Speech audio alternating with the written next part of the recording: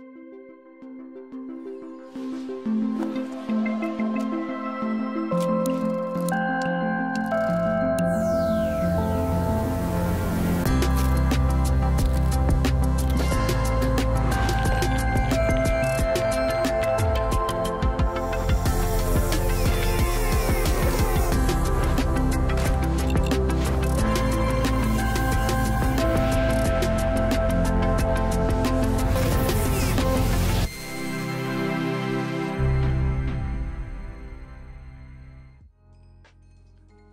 morning and welcome to Adobe Live. It's 9:30 a.m. Pacific time, and we're so happy you guys are here. We have Grace Zhu from Canada going to be doing some fantasy illustration with us today. Hi, Grace. Hi, I'm so excited to be here. We're definitely happy to have you here. Um, just want to say hi to everybody. It's Monday. Hope you guys are ready for this stream. Uh, I just want to say hi to the chat. Uh, Sean Cussel, Andreas Holler, Wade Akoff is uh, moderating for us today. Thank you, Wade. Always awesome. Um, excited for you guys to be here. If you guys are on YouTube, please come on over to Behance, b.net slash Adobe Live. That's where you guys can talk with us in the chat.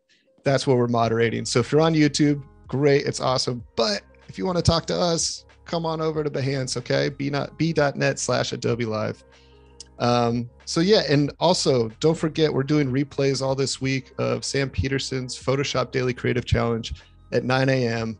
all this week. So check that out as well.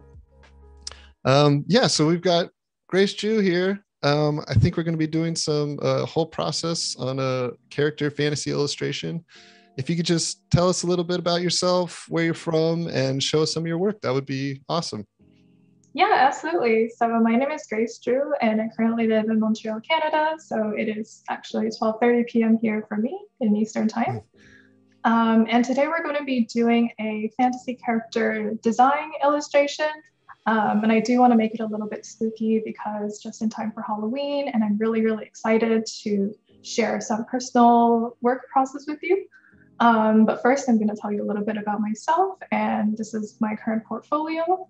Um, as you can see, I do a lot of fantasy art, some a little darker, but some just more veering towards the magical and fantastical.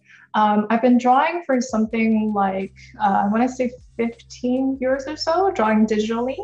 Um, I started with Photoshop 6, like not CS6, like Photoshop 6, like the really, yes. really old version.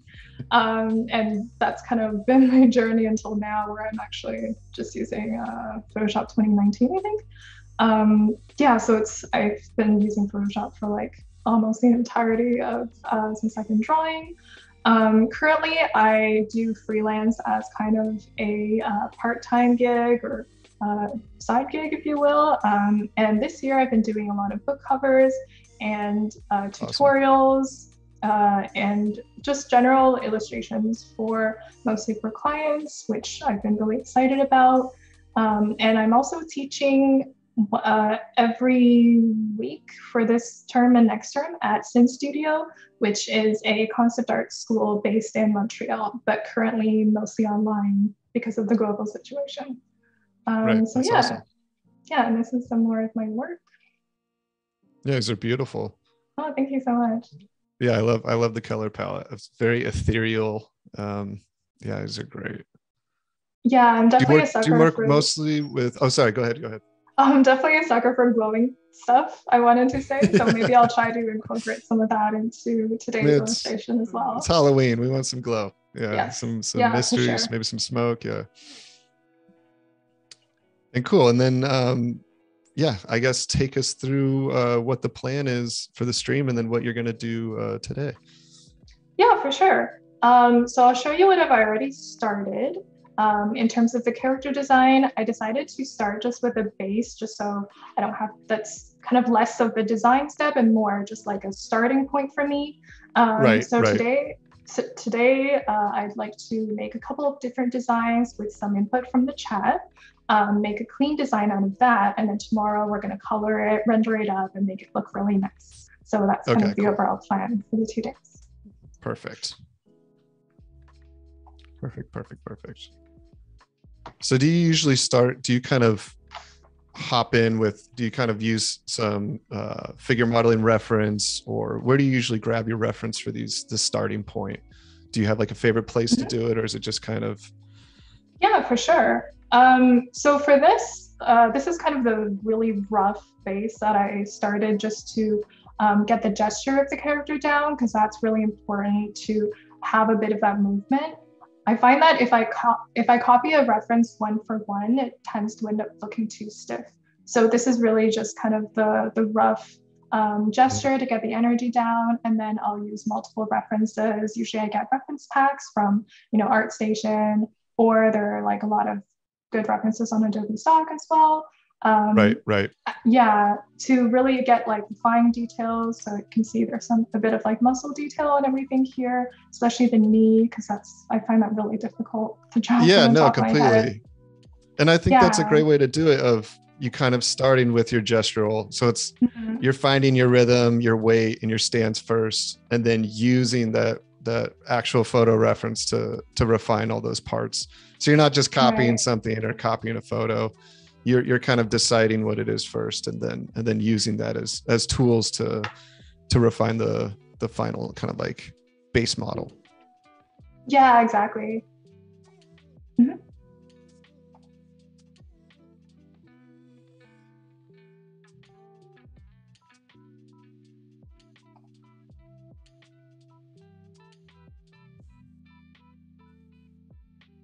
Yeah, is it better now?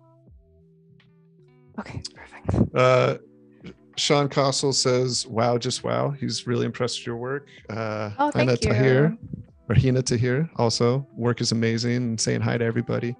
Thanks for joining us in the chat, guys. We really appreciate it. And obviously, the show doesn't exist without you guys. Obviously, I mean, everybody watching and learning and joining in is what makes this fun. So, thanks again for coming around.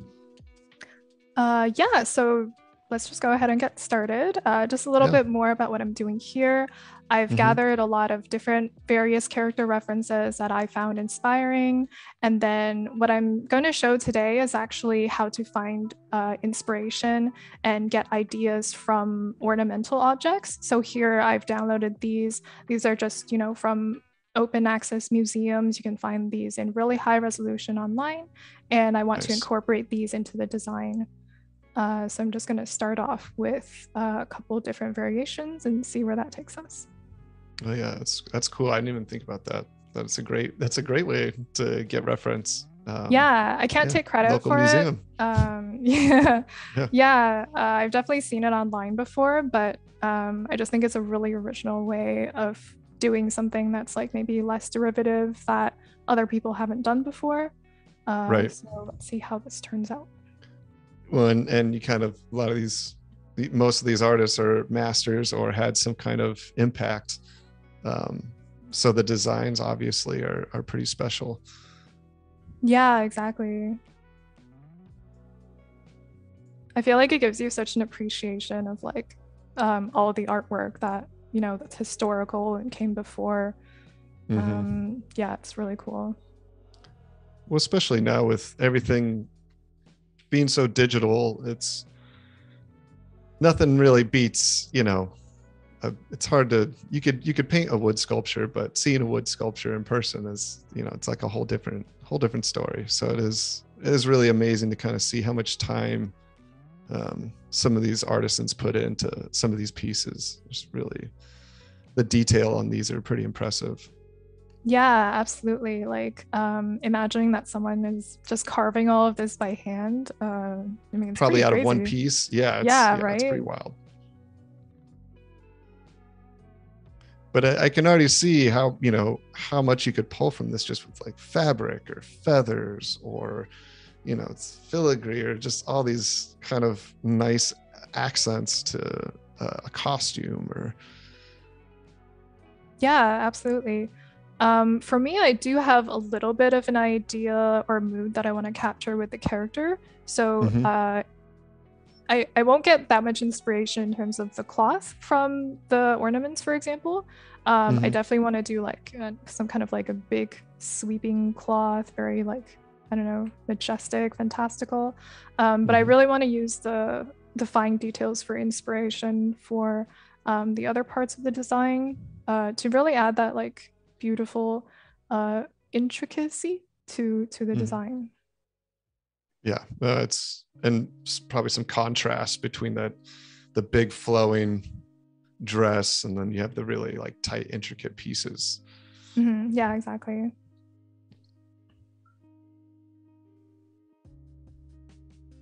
So do you usually sketch in a certain color or is this um is this kind of the color you're going to be using or do you usually just start with like a black or does it matter? Uh, for me, I think I generally start with a dark color, and then once Mhm. I do the clean sketch, I'll like, for example, uh, make this a different color just so I can draw on top. Um, Gotcha. But for the base sketch, where I'm just getting the idea down, um, I think like a simple color, simple brush is the best for me. Uh, Right. The less I have to really think about it, the better at this stage, because I really want to just focus on the idea, the silhouette, um, that kind of stuff for now. Mm-hmm.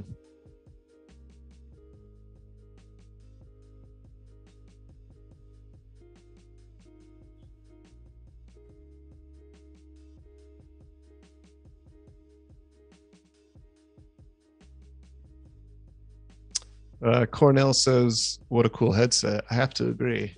It's pretty cool. Yeah. is this your go-to headset? Yeah, for sure. Um, Do you have multiples, or is this the one?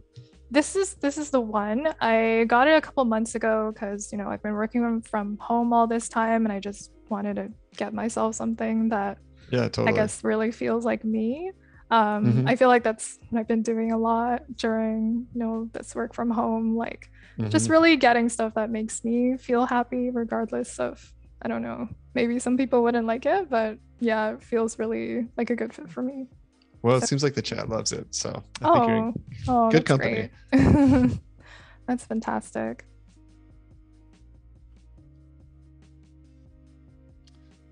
And then Sam, actually Sam Peterson's in the chat. He's uh been doing the Photoshop Daily Creative Challenges. He's also Oh, cool. an excellent uh fantasy illustrator. Um who also does a lot of dark stuff, I think more like knights and trolls and all kinds of D&D D&D stuff. Um but he says he Oh, knows somebody who went to Syn Studio. Oh yeah. Oh, that's cool. So is this uh is this all is it just online right now? Is it also have in person when obviously Um, we can so- do that or Yeah, they they used to have in-person classes, and currently they I think they have a few that are in person. Um, but just logistically, and I think they're seeing some benefit to doing online as well. right? Um, for me, it's really cool because I don't have to commute, but also I get to interact with students from all over the world, which for me is a really big plus. Like, I just think it's really, really cool for me to have students from like Europe, from, you know, Peru, Mexico. Mhm. Like, I, I would never know how to reach those students otherwise. Um, but Yeah. through Syn Studio, like they're in the class and it's it's really cool interacting with them.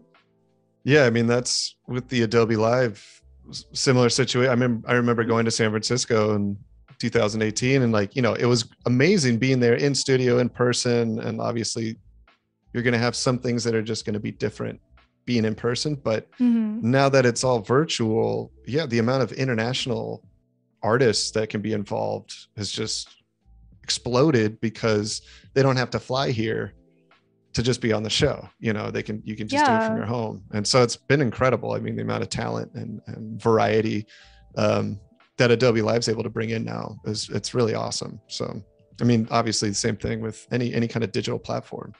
Mhm. Yeah, there's definitely advantages to being in person, but I like that. I think uh, a lot of people are also embracing the advantages of being fully digital as well. Yeah, and I think moving forward, we're probably it's gonna just be a mishmash.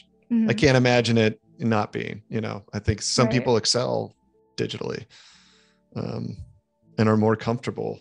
You know, learning from their own home or Mhm. studio. Yeah, especially for digital art, I think it works really well. Um, Mhm. Although I do know people in, you know, university courses who really struggle with the online learning format. Uh, but I think in some ways, digital painting is like uniquely more suited to the online format, um, just because of how accessible it is. Like everything's kind of done through Photoshop anyway. Um, so I think it works better than maybe I don't know learning history or something. completely because yeah you would be pretty much watching a screen anyways or watching Right. them paint and Yeah. it's it is almost easier just you know oh i just throw it up full screen on my you know my computer and i can just sit Mhm. and watch every stroke and Yeah, uh, exactly. it really it really is cool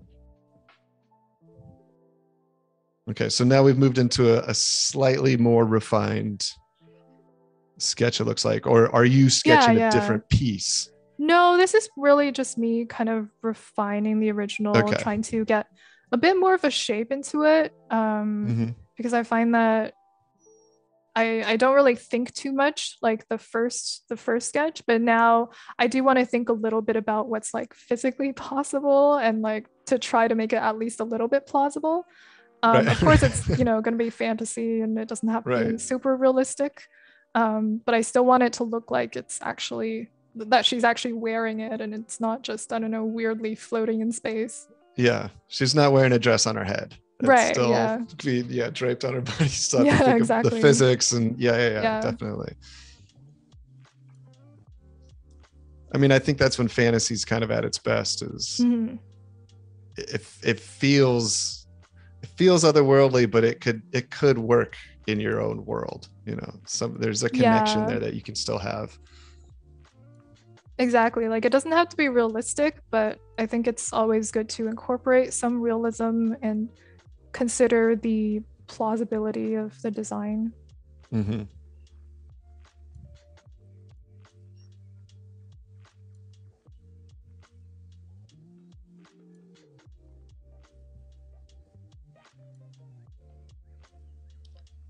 Oh, I- there we were trying to plug your Instagram, but it seems like uh, Instagram might be uh, down right now. Oh, really? Oh, no. Somebody was able to find the the exact URL, so Oh, they posted that up. But yeah, for some Oh, reason, I don't know what's you. going on with that. But no, that's unfortunate. Is that where you post a lot of your work, or is there is, you have Um, a website as well? Yeah, so I have the website, which is what I sh- Mhm. uh, showed at the beginning of the stream. Okay, and I think um, we got that up below the uh, video there. Okay, cool. Yeah. Um, I use Twitter maybe a bit more than Instagram. Um, it, it's not that I like it better per se. It's just uh, it I seem to be more popular on Twitter for whatever reason. Um, Right. So I'm kind of running with that. Um, Angels, yes. Um, so it looks like you're building layers to make the drawing just like an oil painting. Is that Mhm. correct? I mean, this is basically like the underpainting that we're establishing right now, correct? Yeah. Um actually my normal process is maybe like when I do just pure illustrations is maybe a more Mhm. like an oil painting. Mhm. Um for the character design, I'm actually going to be uh removing like this rough sketch because I just want the clean lines. Uh so for this particular process, I would say maybe it's less like an oil painting. Um Mhm. because I will be kind of removing all of this uh, at the next step once Gotcha. I pick a design. Right. So Uh, these so these colors, none of this is really going to be Yeah, used. none of this it's really just really defining the structure and, and Exactly. the design. Okay. Yeah. Um, So it's and much this more is like a sketch. Yeah, this is done so I can like really focus purely on the design. But if I was Mhm. doing a more illustrative work, my approach for that um, is more like an oil painting. I would probably want to keep this um, just because I I think the having this underpainting show through, for example, in the final painting, I think gives it something of like a it gives it a nice touch. I feel like a bit of um, texture, a bit of like the original intent shows through. yeah. Um, It mhm. it it makes it it's it makes it less perfect in Yeah, a way. exactly. It kind of it may, yeah, it lends a little itself a little bit more to the traditional textures and Mm-hmm. style, which I think the eye can tell. Yeah, Um, yeah. yeah. But no, this is really more design work that I'm doing right now.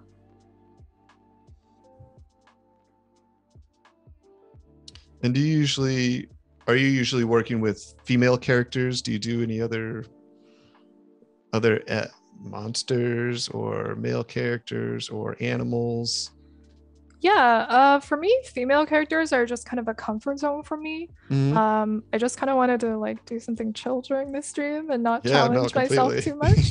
Yeah, um, but otherwise, I do uh, I do some male characters, not so much monsters. But I have been trying to draw a little more animals recently. Uh, Mhm.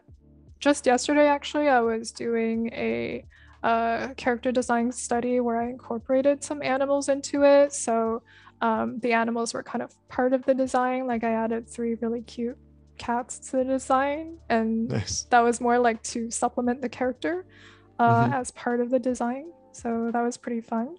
Um, I don't really usually draw animals, so but they turned out Right. pretty nice, I think. Yeah, I mean it's a whole nother beast, literally. It's- Yeah.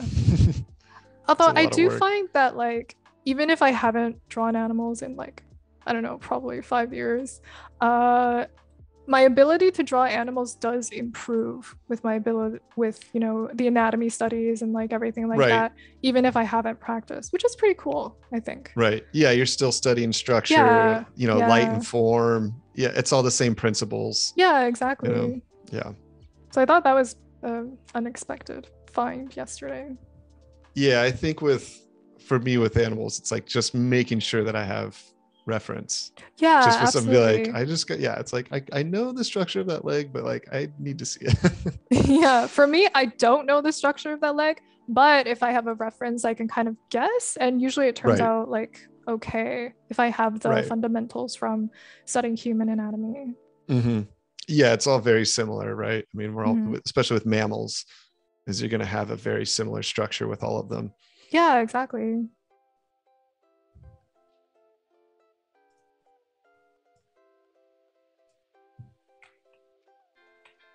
right now i'm trying to think if it would be better to have a necklace or something on the neck or not Mm-hmm. I think I will maybe keep. Yeah, it couldn't. there, It'd have to be either like a like a choker style or Yeah, something, right? Because there's like so much going on Yeah, on the around it that it yeah, it'd have to be like a laser focused. Okay, so I'll keep it small and simple, and maybe change it up later.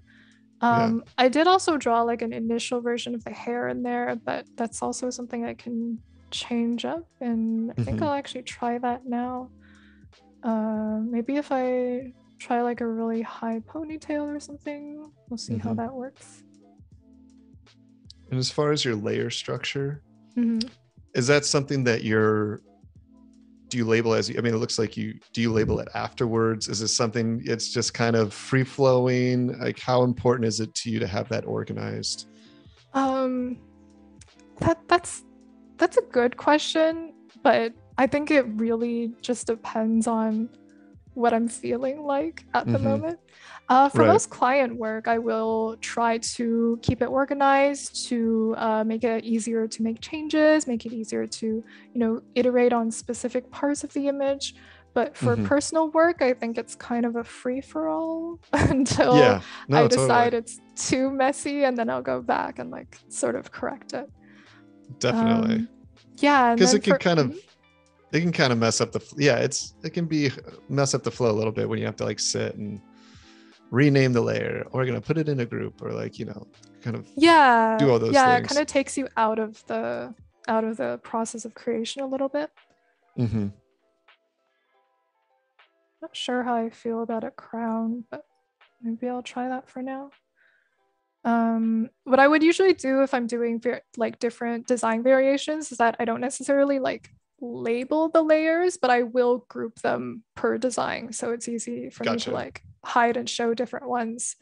Uh, Right. And that's what I'll be doing in a bit. I think this is maybe about as far as I want to take this one. Um, So I'm going to do a couple of different designs and then uh, discuss with you and see if the chat has any input onto Cool. which one I should continue with. cool that's exciting So that was the first one. Gonna enable, gonna save because that's important to do often. Uh, and then move on. now is this her tan line that we're looking at right now No. So yeah, I meant for this to be a bodysuit just so I don't know. totally There's no accidental yeah. nudity on this stream, but yeah yeah no totally be very pale for a tan line. uh, okay, so right. Bye, bye, Robert. Hope you have a good nap. He says bye to us. He's gonna rest his All little eyes. yeah, thanks for coming, Robert. Yeah, definitely. I wish I could take nap during naps during the day. I feel like um I'm not really a good napper because No, I always I sleep for like either. you know two or three hours if I do fall asleep, and then at that point I feel like it's no longer a nap. It's more of like yeah, you, yeah. Your body sleep, will right? not like that. No, like, no, I feel worse after. "Mhm, Doesn't Yeah, really I can't do the I can't do the cat nap either. Yeah, very very difficult. Yeah. But yeah, my uh my 20 month old can he can sleep for three hours during the day just fine. Mhm. That's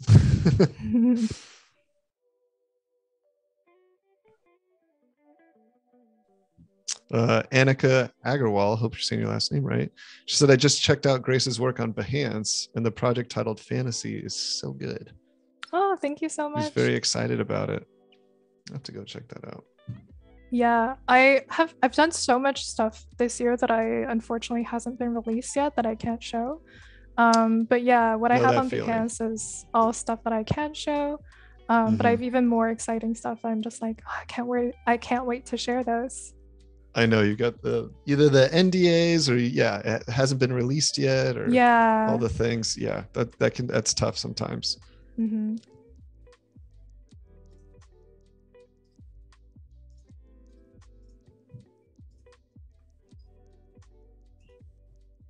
So I'm not really sure how this will work like physics wise, but I do really like this golden piece that can kind of function as a halo. So I'm just trying to Yeah, put that behind the character and then figure out the details later. that's very cool. And are those kind of wing wings yeah, coming exactly. out around? Okay, um, I really like cool. these little like wing ornaments here. So Mhm. I'm just trying to exaggerate them and find a nice shape. Uh, yeah, there's a lot going on with this clock. Um, so I'm trying to Yes. incorporate different parts, but then still have them look cohesive because I definitely don't think I can put everything in here. It's definitely not like a postmodern minimalist design. yeah, for sure. Just throw every detail you can into one piece. Yeah, yeah, exactly. No, but it's cool to see you kind of pick and choose how you want it to influence the the design. Um, it's good for people to see kind of how how other artists um, use their reference, because it's easy to say like, oh, just go get reference, you know, go find this. But I, I Mhm. think people sometimes have a hard time understanding what they're what they should pull from it, or you know, Yeah. so it's kind of cool to see how people do that and how they integrate like okay i like this radiation you know Mhm. this kind of halo thing and then okay i can integrate it with these like little wing designs and, and little pieces and then you can kind of see some of the like other um, little things that could end up in there um, yeah I, I think that is really cool for a lot of people to see Yeah, something that took me the longest time in my artistic journey is really um, figuring out that by using reference, it doesn't mean copying a reference. Uh, and that Yeah. took me so long to like really understand uh, what artists mean when they say use reference and how they use it to create original works. I think it's something that's not really taught, or at least it's never been really taught to me. Um, so Mhm. that's something that I did have to figure out on my own. And now I'm hoping to share that with other people. Yeah, definitely. Yeah, I went to the um, Academy of Art in San Francisco, Mhm. and so I went there for illustration. So we did a, little, a ton of uh, figure clothes drawing, um, nude figure drawing. But I think that was that first initial like you have ref direct reference in front of you, and you're trying to Mhm. draw it, but you're you're trying to make it your own. Right. It's Yeah. like don't draw what you see, you know, take what you see, find out what could be improved and then make it your own, make it better. Mhm. So it's yeah, it's definitely something that takes a lot of practice to kind of figure out how to make it your own and how to integrate those into your design because it's so easy to just copy it, especially with digital. Yeah, exactly. And to try to resist that and really improve your drawing skills and do it on your own. Try to do it, you know, one to one where you can just using your eye and not just putting it on your canvas and, and going over it, but really, really trying to make those proportions yourself. Um, it pays dividends in the end. I mean, it's you're gonna become so much better at it as you do it, and just takes takes a long time. Yeah, just for takes sure. lots of lots of drawing, lots of practice. Yeah. Nothing does not happen overnight with any of this stuff. I have um so my day job is programming and I'm always people are Oh, always cool. surprised and they're like uh uh wow I wish I had your talent for drawing uh but I always tell them like it's just a lot of time just a lot a lot of time uh, I don't know if there's really any talent involved I mean, it's it is one of those things where it really it, it is a, it's a skill. It's like a master skill. Mhm. So it's it Yeah. just really takes effort and time and consistency and discipline. Because I Mhm. remember seeing some artists in school that they'd come to the figure drawing class and they could barely draw Mhm. anything. And at the end of four years, they were doing incredible, you know, amazing figure drawings and charcoal and oils, like realistic. I mean, they had color down, shape, form. And they started at nothing basically. And, and just within four years of putting in a ton of hard work, they were amazing. So it really is something where your talent is going to maybe take you to a level that other people can't get to right but Mhm. for the most part it's going to be hard work that's going to take Mhm. you there it's yeah like if you have both you're really really lucky but Oh, hard sure. work and and discipline is really what's going to take you pretty far in the art world Mhm.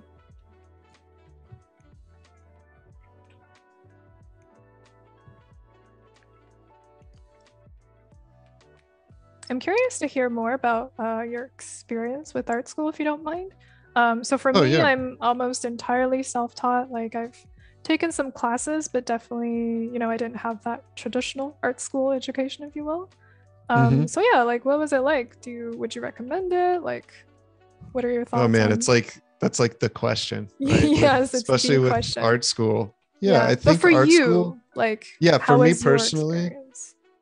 you know, I was definitely not the best student. Um, and so I went for about four years. I'd never graduated, Oh, which is amazing. Yeah. Um, but I- but was I'd it spent- yeah. worthwhile still?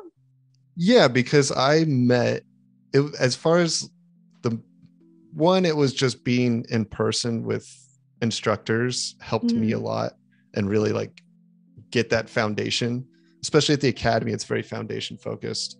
Mhm. um, and just putting in the hours and then also just being around so many other like-minded individuals Mhm. and i mean like you said the virtual the digital thing's great but when you're in a room full of 30 people and you're all drawing it's like yeah, the energy's different Mhm. you get the feedback instantly you kind of you're challenging yourself because the person right next to you and, and you- you're just you're being constantly challenged and like okay how can i do this how can i do that um so for me the biggest thing was networking Right. like i some of the, a lot of the jobs that i got people that i've met and you know it all kind of came from going to school and then Mhm. all of the events that happened after that were kind of connected to that my time at school and making those friends so Mhm.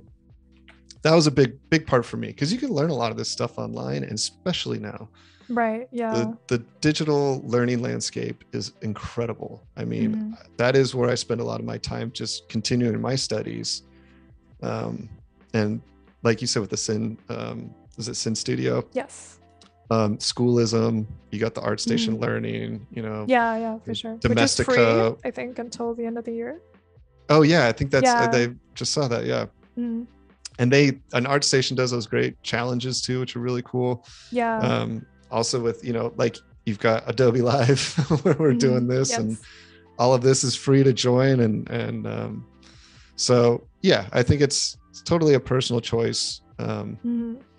i think it's good for some people to just step out of their comfort zone Right. but i it is expensive it's it's a commitment and so yeah it's kind of it's got its pros and cons like anything else but for me it was good i i'm glad i did it and i don't regret it so Yeah. Okay. Yeah. Yeah, that's really cool. Um, Yeah. I do sometimes wonder if, like, you know, I did miss out on something not going to art school. Uh, I think it's a bit late for me in terms of uh, where I am with my life, Well, but I would love to you do know, the- more. there's always like kind of what you said it's like finding groups and doing like figure drawing. You know, Yeah, there's a lot yeah, of like you know, like. Dr. Sketchy's is like a Mhm. you know, I don't know I think they just do it in uh, Cali- California, but you know, you go to a bar and you hang out and you do figure drawing for you know a couple hours with a bunch of artists. You know, they've got Mm. there's so many things that you can kind of find supplemental stuff that hopefully will become available again obviously with the pandemic and everything um, yeah, absolutely. it's been hard for a lot of people uh, to Mhm. kind of get that same instruction but yeah it's i think it is valuable to get some of that in-person energy and um, especially with art you know Yeah, I think so too. Um, I would like to have a better mix. Uh, for example, like, so I do a lot of digital drawing and I've pretty much only done digital drawing for the past, I don't know, like seven years or so. And I Okay. really love to get back into traditional. Um, how much do you work with traditional media these days? um not a lot Okay. and i and i yeah i mean i didn't i didn't really start doing digital um well i didn't really start doing it a lot until about 2011 Mm, and so and i started going to art school in 2005 so i i was more of acrylic painting. I did some oils. Um i sculpted a lot. So that wasn't even on my radar. But then once i started doing a lot of client work it became very obvious that working traditionally didn't match the amount that they wanted to pay me. It's just like uh, I Yeah, can only do yeah, like one revision, totally. two revisions tops if we're doing it traditionally. yeah. But digitally, it's like, oh, okay, yeah, you know, right. we'll just uh, slide around the hues and do, you know, there's so Yeah, many the options. cost of when you do it supplies and everything as well. If you're doing like Oh yeah, and the space you need and the and the Yeah, cleanup and yeah. everything. all that. Yeah. So yeah, it's I think I've been working almost strictly digitally for probably same like almost almost 10 years now. So Mhm. But I still I still do like, you know, I wish I was doing more traditional, but it's just finding the time and Yeah, I'm so used to it now as like that's my sketch sketchbook is is my Cintiq. So yeah, me too. Like when I have an idea, I usually open up Photoshop and do a sketch, even though I Yeah. have like a dozen sketchbooks that I should Yeah. be using that I keep accumulating. But um, Right. no, Photoshop is still kind of my go-to uh, for jotting down ideas, thumbnails, and everything.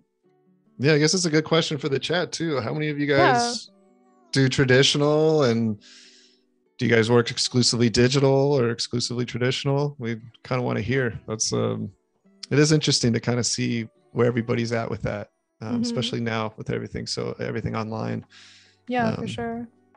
And just a quick reminder for everybody, um, if you're over on YouTube, come on over to Behance at b.net slash Adobe Live, because that's where we get to hear your comments and get to answer your questions. You get to ask or answer or ask Grace any questions you want about her process.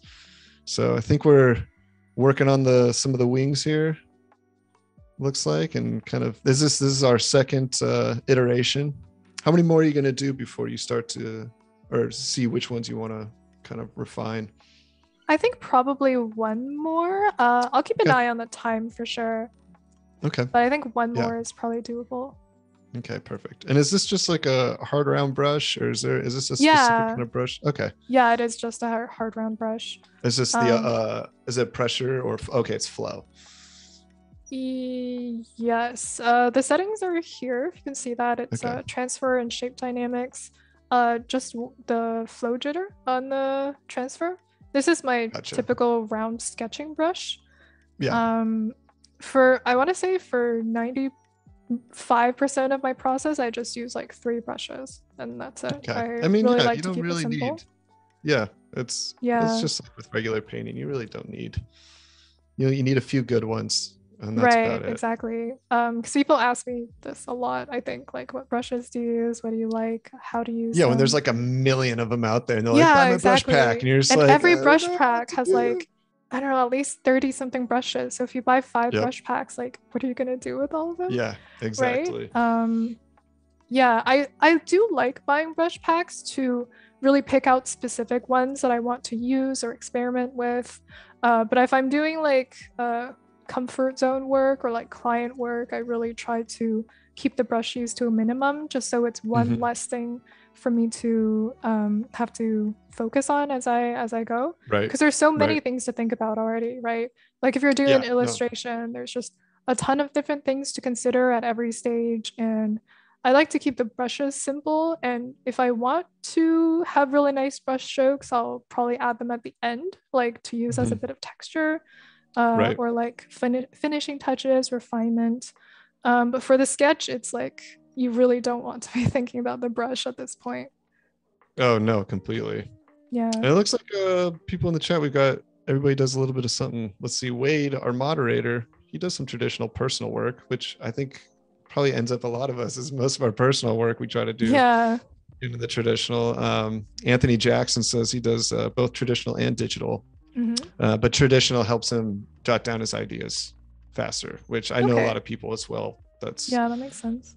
um, and then Jesse Lacey says, uh, professionally, I'm a UX designer, but I Mhm. paint traditionally, do sculpture, and design and make costumes and clothing, Oh wow. which is awesome. I always love that. I I I mean, I think you can tell by the character design, but I just I love fashion. Like I wish I had the time to get into clothing design. Um Mhm. something I have planned for eventually, but that definitely requires time, investment, space, you know, learning everything. Yes, Um, it's a lot. but one day, one day I definitely will. It's uh, it's definitely a very cool process to watch.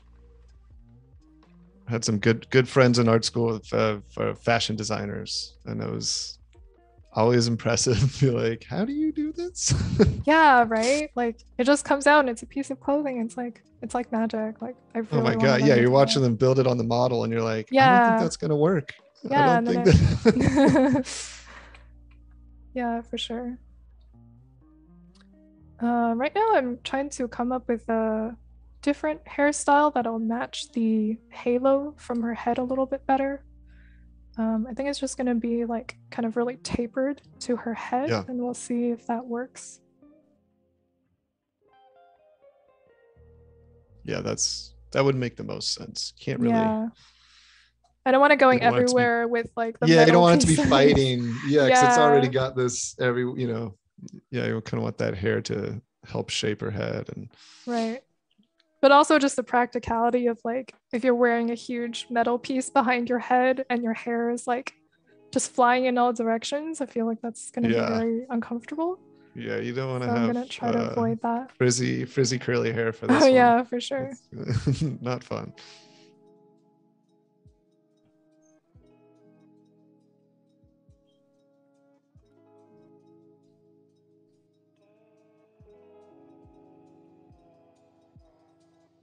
Oh yeah, So I didn't Chris, even is think there- about the shoes. Oh yeah. Sorry, Well, I was just gonna say, like, is there anything you don't like drawing? Because for me, shoes are always like I always try to avoid them because Yeah, I feet are hard. Yeah, it's like people so say weird, hands are hard. no Feet are harder than hands. Yeah. You know, the I always is laugh. just so weird. um, one of the funniest things I remember reading was uh, with Frank Frazetta. Mhm. Obviously, if, uh, if you guys don't know, please look him up. But really famous uh, fantasy illustrator and painter. But he hated drawing feet, and if you look at his paintings, he's almost always hiding the character's feet. Oh, that's funny. I've never he almost noticed. but- never paints them. Yeah, and it's because Huh, he hated okay. painting them so much. But it they, it is hard to just get the right angles and the rhythm, and especially Yeah. with shoes. Um, so I I always have try to have good reference from when oh, I'm for doing. sure. Um, but there's definitely some good ways to. Whenever you have really a lot of difficulty with that stuff, try to go find um, reference where they break them down into planes or simple shapes that you can think about these really because you know the feet and the hands are so complicated with how many bones and muscles are in them but if you can Mhm. find a good reference where they break them down into shapes uh, it helps a lot. I know um, the Etherington, Etherington brothers i know lorenzo he does the how do you think when you draw or how to think when you draw. And he does a great job of breaking down a lot of those shapes that i like. Um, but yeah feet i no. Don't don't like drawing feet. That's definitely not I I love drawing the face. That is like my favorite Oh, for sure. uh, Yeah. thing. You know, I think just even as a kid, it's it's like oh, I'll get to the body. I just want to draw this face for Ren. yeah, I mean, there's so much variation in the face. Um, it's also where like my real comfort zone is, is really just drawing the face. For like Yeah. many years, uh, I did like pretty much nothing but portraits. Um, Mhm. The sad thing is like you can't really get work doing nothing but portraits. I think. Yeah. Um, Yeah. but it's really where my strength is as well, and where I prefer to be. Mm-hmm. Yeah, I mean, it's you know what is it? Um, if you wanted to be an illustrator, it's like you have to be you have to be able to draw multiple characters in a scene, and you better be good with face and hands. Yeah, feet, for se- feet are secondary on that one, but mm-hmm. um, yeah, I mean that's been a, a really tough one for me. Is really working on environment design and putting those Mhm. characters in there, um, and having it enhance the characters and Yeah, really push storytelling. Um, for sure. because it's easy just to focus on a central character, but when you start adding multiple characters, and then it really gets it's it's hard. It's hard finding that balance. Yeah. Do you have any tips for placing characters in environments? Um, I've been getting better at it, but it's still something like I kind of struggle with, and maybe it's true for other people as well. Yeah, I mean, it's definitely. I- think it's the same design tips, you know, for um, working on any kind of composition. Those those same rules are going to apply, and you just kind of have to think of your character as a shape and a, uh, you know, a, a temperature, and what do you want them to be? Do you know? Do you want them to come to the forefront? Do you want them to be the first read or the second read? You know, like how do you Mhm. want them to push forward, push back? how do you want you know depending especially with the story is there going to be tension between the characters or is it like a love or like so all these things that are going into what you're doing for this this piece you want the entire composition to be informing that story Yeah. because you wouldn't want this story but then all of a sudden you've got these weird tangents or the way the characters are next to each other is you know it's like you've got the you want this piece to be like warm and loving and the characters are kind of angled at each other weird or maybe your colors aren't very warm or you know so you always kind of have to think of everything that you're doing as informing your your what you want your final piece to look or, or the vibe or the story to be so it's always important to as you're working to stop and they used to do this you know it's a lot easier i feel like with the traditional you because you're Mhm. standing or working stop step back look at your composition you know command zero get your full palette on there Mhm. um, and look at your work and another good thing too is to flip flip your work if you can that helps some people Yeah.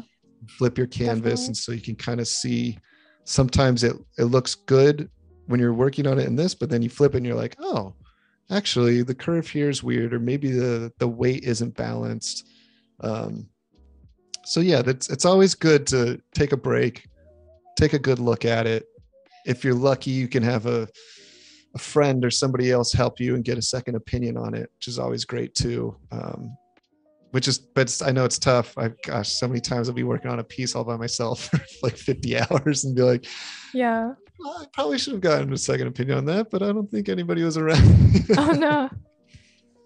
um For me, but I yeah I share a lot of like my work in progress on various Discord communities. I oh, actually yeah, think it's a great idea Yeah, I actually think it's one of the ways that um, I really started using Discord a lot more in 2020 because you know, Mhm. seeing people less. Um, and it's been such a boon to like my artistic growth, just having awesome other artists there to bounce my ideas off of. Um, Mm-hmm. Yeah, I would definitely recommend it for anyone looking for artistic communities. I really think Discord is kind of uh, where it's at if you want that kind of small, close knit community where you can talk to people frequently. Um, that's where it's at because it used to be kind of like forums and then it kind of was social media for a while. Um, Right. Yeah, but now a lot of the smaller communities are on Discord. well i think discord's expanded what it's offered to now Yeah. that you can do now you can share the streaming now Right, and- yeah, and exactly. if you've got you can organize everything into your hashtags and groups Mhm. and i know a lot of um, a lot of different companies and, and organizations use that now as a great way to kind of contact all their members and so yeah that's a yeah, great idea that's a great idea Yeah. oh um, Um, uh, sorry go ahead No, it's okay. I was just gonna say like this is kind of the third design that I just started Mhm. based on this store. Um, if you're watching and you just joined us, we're doing uh, fantasy character designs based on decorative objects. Uh, so yeah, this is the third one, and I'm just incorporating the shape into the main torso body and taking things from there. Yeah, no, this is great, and it's I, I'm glad that you have the reference up for us to see because that that also helps you be like I'm using some reference, and they'll be like, but what are you referencing? yeah, exactly. so it's good yeah, to I do feel it. like that helps. Mhm. it helps a lot. Yeah, I think just because you can see where it's coming from, and now are you going to be uh, referencing the textures at all for any of this, or is that going to be something Um, else? I don't know. I do. Not I yet, really okay. like the metal filigree, so I do think I'll try to keep it as much as possible. Uh, Mhm. But otherwise, I might have to pull up some other references for tomorrow when I'm really rendering out the details. I haven't Mhm. quite decided yet. Okay. Yeah, no, this is cool.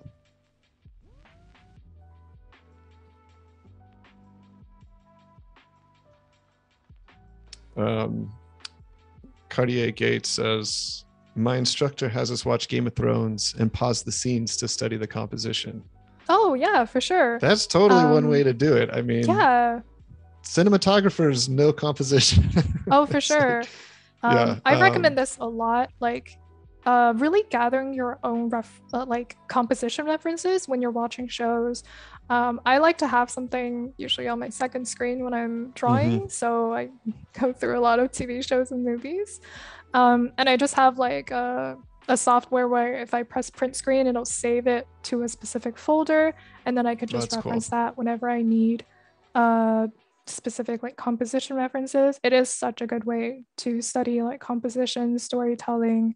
Um, I absolutely recommend it a lot. Uh, it's yeah, also a great. good. That's Mhm. good advice with the the the shortcut to just yeah, yeah because I do it a lot, so it's definitely a good idea. Um, oh, I was gonna say it's also a good way to find sometimes references. Like you can't always find exactly what you're looking for with the right lighting, but if you've seen it in a movie or a TV show and it's streaming, like it's always a good place to take that take from Mhm. that directly, uh, rather than I don't know trying to find the exact image. Not really knowing what you're looking for. Um, it's a part of building your visual library, and I think it's just a really good exercise to continue doing that. yeah and you're you're going to be kind of learning on not only what you like but Mm-hmm.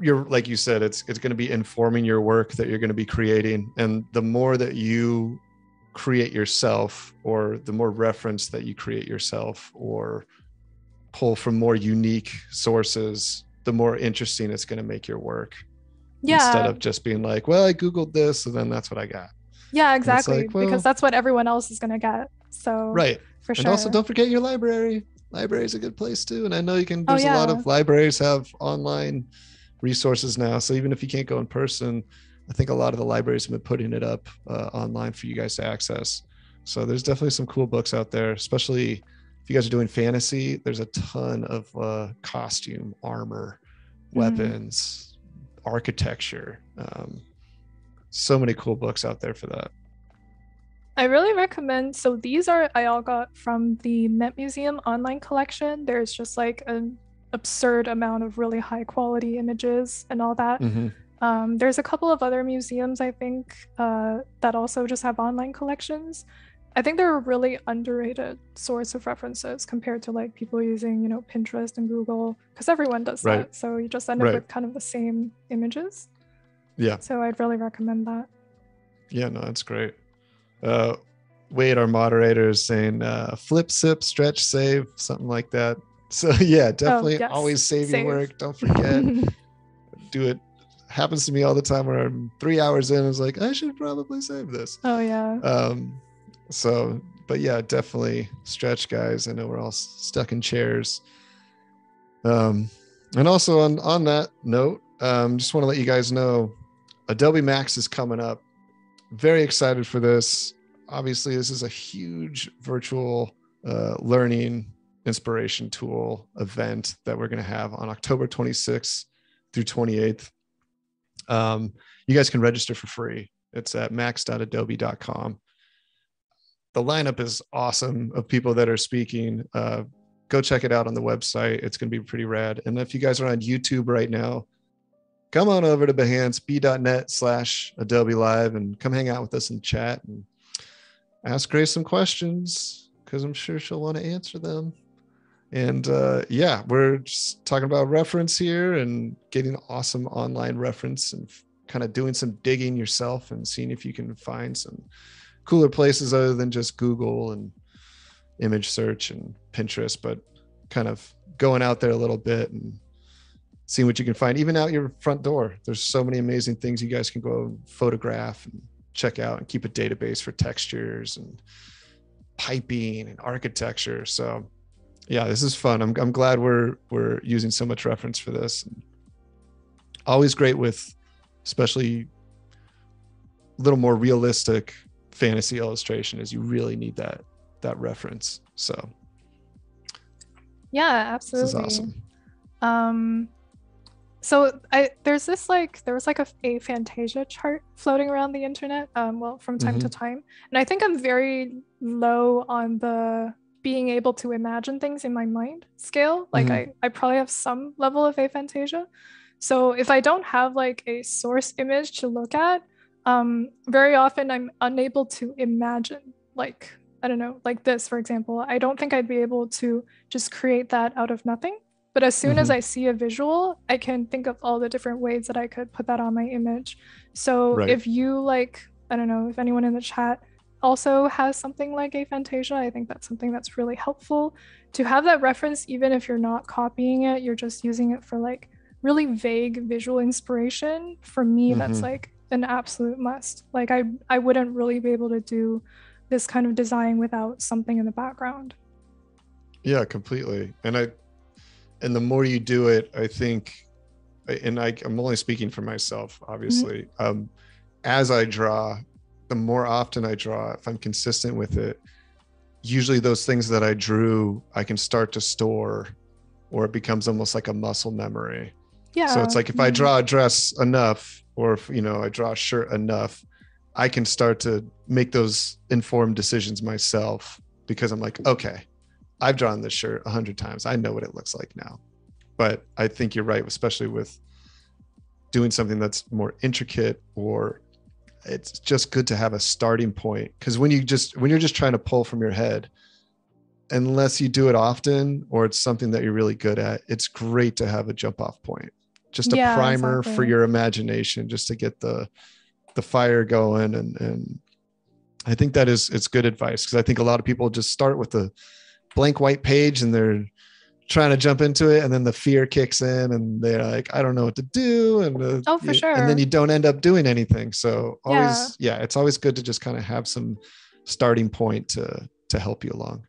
And i i still feel that like you know staring at a blank page being like yeah what am i doing the fear doesn't go away yeah that never goes away it never goes away you're always gonna yeah. have a little little weird butterflies in your stomach, especially you know with the live streams and and anything when, or for a new client or even an old client. It's it's like when you're doing professional work, you're you know it's you you should have that feeling because that means that you're you're trying to challenge yourself. You're trying to yeah, and it means you're yourself. you care. yeah, exactly. You're yeah, improve. It's good. It should mm-hmm. it should motivate you. Um, Matthew, I think it's Matthew McKelly. I hope I'm saying your name right. Says, do you guys have any suggestions for a good book or course for mastering human anatomy for illustration? Oh boy, there's a lot of stuff there's out so there. Many. Yeah. Um, I'm trying to remember. I feel like I might have a book right behind me. If I'm going, if I'm disappearing for a second. I have one over on the other bookshelves that I can bring over but uh, I like Loomis's figure drawing for all it's worth. Um, mm-hmm. I think mm-hmm. that's a pretty good one that still holds up pretty well. Uh, it's old enough that you can find like free ebooks of it, so I think Mhm. that's always a plus when we're talking about books. Um, yeah, I don't know. Chris, what do you think? I know I'm like totally blanking right now. There are a few books that I have that I reference, and like Mhm. you know they're all very similar, like human anatomy and figure drawing, and you know Yeah. I can't think of the the author. Um, but yeah, maybe that's something we can find and drop in the chat um, as we find out what it is. But yeah, there's there's a ton of books. Um, that's also something if you want to just do some uh, online snooping and searching, see if you can find. But um, there's usually tho- those books out there you can find with what people reference. Um, it also depends on what you're aiming for. If you're doing more fantasy illustration or realistic, you definitely your anatomy book's going to be a little bit different than if somebody's working towards animation um, Mhm. or stylized illustration. So, but yeah, I and I remember in class, um, I took a écorché class, and so we would do uh, one fourth scaled. Uh, we built the entire skeletal system um, to scale, you know, like the one fourth to quarter scale, and then you would wrap the muscular system on one side. So you'd end up with this two foot tall um, you know, half skeleton, half muscle man. Uh, so that was that helped me a lot, and that was obviously, you know, that was a, a four month course just sculpting. Um, but stuff like that, I feel like helps a lot as well. Just being able to touch. There's something with sculpting the muscular system and sculpting the bones and like because it is anatomy's hard where you can't if it's just 2D or drawings, it's hard to kind of see how those forms are wrapping, especially with some of your bones. You know, especially like your arm, you know, your radius and your ulna and the way they twist Yeah. as your arm is twisting. And so I think it, having 3D reference is really cool Oh, for, for sure. that. Um, and I know there's a lot of, I feel like there's so much new stuff that comes out all the time. I know Yeah. ArtStation is a great place to check out and even ask people. Um, I feel like everybody, and like you said, joining a Discord, Mhm. um, so many of those people are going to be able to help you out as well with finding really good reference for things.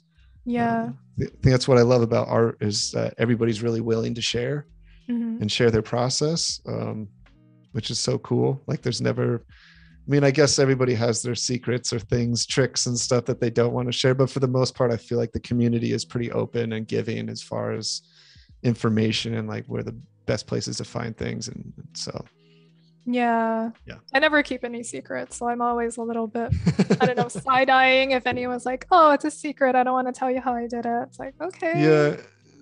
I mean, it's kind of one of those things where it's like the more you give, the better you get. I don't know. Yeah, It's- absolutely.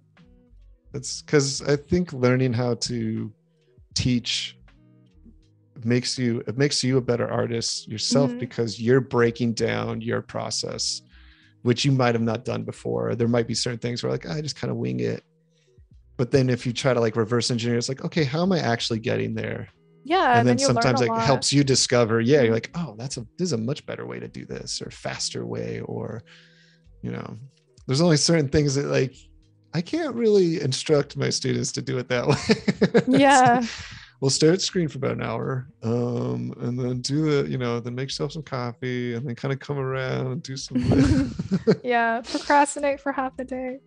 No. yeah yeah and then um, it's just gonna come to you Yeah. It's really good to have that um, breakdown and methodical approach uh, once you start doing more client work. I think for Mhm. personal work, it doesn't matter, but teaching has for sure helped me refine my process, figure out what was, you know, really necessary, how to um, approach something methodically when I don't have the, I don't know, the spark or the inspiration. I still have that process to fall back on. Um, and I think that's the most, um, the biggest gain for me, like productivity wise, efficiency wise. And I don't really have art blocks. Like I think a lot of, well, I've seen a lot of people online talk about like, oh, you know, they're they have an art block, they can't draw, and I, I totally there are many different valid causes for that. Um, but if you were doing it, you know, professionally, it's it, it's a really difficult challenge, and you can't yeah it's not compatible with like I guess doing it professionally, I would say. Yeah, and I think with especially with creative blocks or art blocks, it's trying to find something that you can just do as um, a study or mm. something that you can just use direct reference for or try to make it easy on yourself yeah to just get the pencil on the paper or on you know your, your pen on the screen or whatever you're however you're doing it the faster you get that moving the faster it's going to go away mm. but it's it's yeah it can be i've definitely had those moments where it's not i'm not I'll get the I'll get the project or the brief and I feel like sometimes that creative block isn't me not drawing it's just not drawing well or not yeah, like making something that's right. mm. yeah you're just like this is this is boring or trite yeah it's not, not, good what enough am I doing for, mm. but I had to go through that for a day or two or a week or a few hours to finally break through and be like okay now we're cooking so yeah, it's yeah. kind of important to have those moments sometimes to just figure out in a bind because especially as freelance, I'm sure you know it's like you don't always get the time that you want to make yeah for sure the thing that you want for the project. Sometimes mm-hmm. you only get a day or right. a couple days or a week. And so you kind of you have to find your own method to kind of push through those walls and still get the work done for the client and make something that's that's of quality yeah i'm sure part of experience is just figuring that out um, figuring out your own process of, as well not just like what works for other artists but really like your own timeline what works for you uh, that kind of stuff yeah because we're not you know not everybody's lightning fast i mean mm. i'm not lightning fast i mean yeah, i can work really fast slow. but it's not my you know I, I I watched some of these artists. I was like, oh my gosh, mm-hmm. people are insane so it's yeah being realistic with your client being realistic with yourself um, but still being able to push yourself so that you're not going so slow that it's not applicable to a profession or a job you know you have to make sure you can produce relatively quickly but you don't want to go so fast that you're um, sacrificing quality or creativity right so. um, i had a student recently ask me about how to uh, so I, I was asking all the students like what they would like to improve the most in the class. So, you know, I know what to work on with them. Uh, and I had a student uh, ask me like, how do I get faster? I want to, um, you know, get faster at drawing and finishing a painting. And I really just told him that like, I don't think it's a good metric for to improve on that much, especially um, I think at most stages of drawing, it's something that will come naturally with time. It's something that'll come mm-hmm. with getting better at fundamentals, but it's not really something that like you want to focus on that much, right? Because I think the quality yeah. matters a lot. Um, what you output matters a lot. How long it took you, like, unless it's super extreme, I think it's not really the most important thing to focus on. Well, yeah, I mean, it's like somebody trying to run really fast without good form. Mm-hmm. It's like it's not, you might improve here and there, but in the end, you're not really going to get to where you want to go because your form isn't there. You yeah. know, like shooting a basketball, where it's like, well, I've got this really quick release.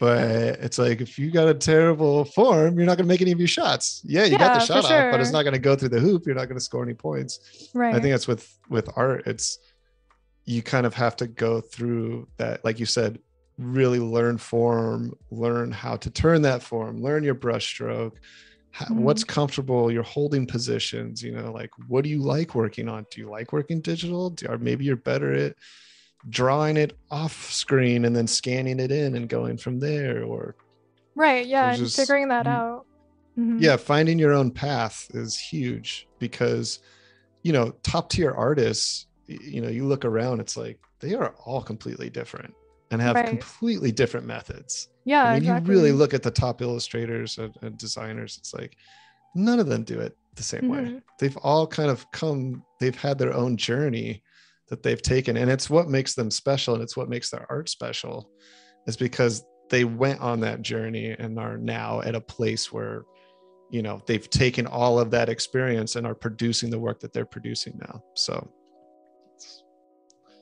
yeah speed isn't everything that's for sure yeah okay let's let's oh Oh no, go ahead. Go ahead. Finish, oh, I was sorry. gonna say like neither is copying like an artist exactly. Like what you said, what works for you know this artist that does really really amazing stuff might not work for you. Right, so and it's, it's okay in the beginning. You know, it's like as yeah, you're exactly. moving forward, totally copy thing. I mean, you want to know why something works, and sometimes the the best way to do that is just to copy. You know, we always did yeah. like master mm. copies and stuff, and figure out what. Yeah, why is that's this also really so helpful. amazing but when yeah when you start moving into your own really you, you want to start pushing yourself to have your own voice mm-hmm. but yeah so let's go over these um, are we getting close here what's what do we got yeah for sure could... so right now I'm, I'm just cleaning up the variations a little bit so they're a bit easier to see and then and we'll just have... a heads up you've got about 40 minutes i yeah, think before we start that's totally fine okay. Okay yeah that's that yeah that was definitely planned okay just want to make minutes. sure yes okay, cool. thank you for checking Mm-hmm. Um, so I just want to lay down a base so it's easier to see like what is and isn't uh, part of the design, and then Definitely. we will have a little vote in the chat. Perfect. Um, I think there are different strengths and weaknesses for all of these, so mm-hmm. I'm really curious what people will end up liking the most. And I'm just gonna pull these all into a separate window so you can see them all next to each other. Cool. So that's design one. This is design two, and this is design three. Cool. Uh,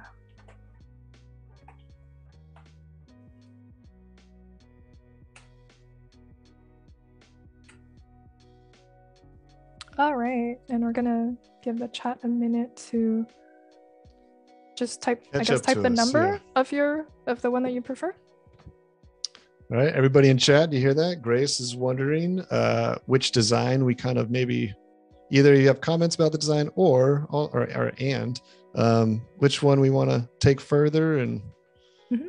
do with the the finished illustration. So let us know in the chat when you guys get this. I'm man, I like three. yeah, I think someone said in the chat that it looked uh, kind of like a Greek goddess. I think there is something well, a bit Wonder Woman about the, you know, about the. I could see that. The, yeah, yeah. The yeah. knee. What are they called? Knee like. I, I don't. Uh, yeah, I don't know. Knee Shin plates. Guards. Shin guards. Yeah, I don't know. um, um, yeah. I think for for me, it's like for the Halloween kind of the darker vibe. I think I mm-hmm. Three. It feels okay. like it could almost like thorny or something. Like you could even take it further. Mm-hmm. Um, one as well, I think, has a little bit of that vibe as well with the horns and stuff. Yeah, two Halloween. is very two could be like a dark angel or something, you know. Mm-hmm. Um, but yeah, I think I think I'm digging three. Let's see, we got a lot of threes okay. and twos. Yeah. Let's see. Ooh, three with the legs, or two with the legs from three. That's interesting. Leg bracers. That's what somebody's calling. okay. We'll take it. Let's see. This is just gonna fill in the color here because that's supposed to be skin. Uh, it's pretty close, but I think three is yeah. winning out right now. It does look like three is has the majority. Wade is suggesting we use a straw poll. That's a lot of work, Wade. Yeah, I think the chat uh, is uh, clear enough no. with a preference do, for 3 gonna, yeah, we're gonna we're gonna guesstimate. Mm-hmm. Thank you, Wade, though. I'll use that in the future.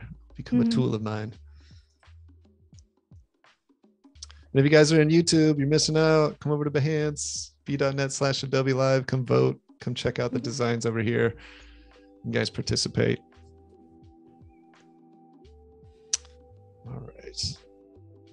Well, I think three is winning. I don't see any more votes. Um, yeah, I guess the final like decision it. will be for you, Grace. Yeah, um, I really like three. Uh, I'm a bit partial towards one as well, but I think three does have a level of detail that the other two don't.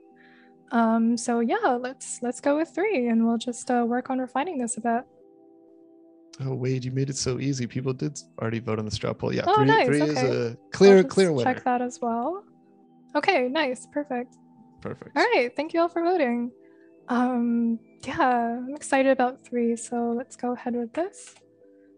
Um, yeah, so like I mentioned back at the beginning of the stream, um, I want to just put a lighter color for me to then do the clean sketch on top. Right. And then yeah, I'll just go ahead and do that. But I need to. And again, you're going to be using the hard round brush for this as well. Yes, exactly. Okay. Okay. Uh, I think I'll bring my reference back. I think Mhm. I accidentally closed it. Oh no, I didn't. I just move it to the side. Okay. Perfect.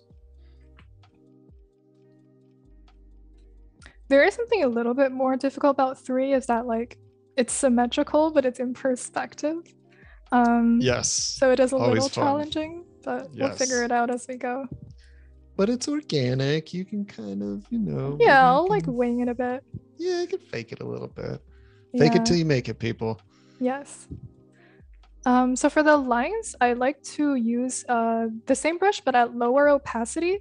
So Okay. basically, if I mess up, I can just like kind of draw over it with like a very dark line, and then I don't have Right. to, you know, spend time to go to the eraser and then go back. right, Um, exactly. Yeah, so this has worked pretty well for me. But I'm also thinking if I want to add like a like a circlet or something to really complete Hmm. the Yeah, totally. the Greek goddess kind of look. I'll figure it Yeah, I out think later. that'd be really nice. Yeah. Just figuring something out for now. And I'll draw in more details later. Very cool.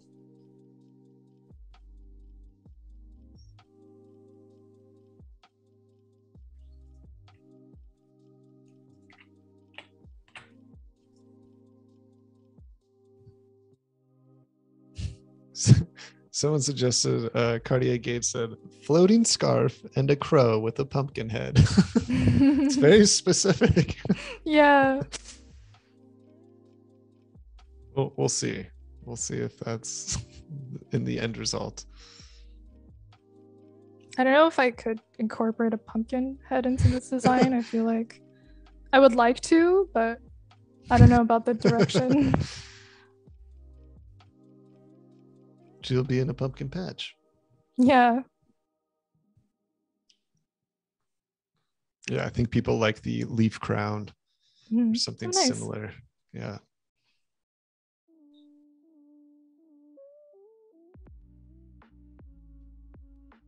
So now after this, are you going to do another final or is this kind of what you use for the basis of the painting?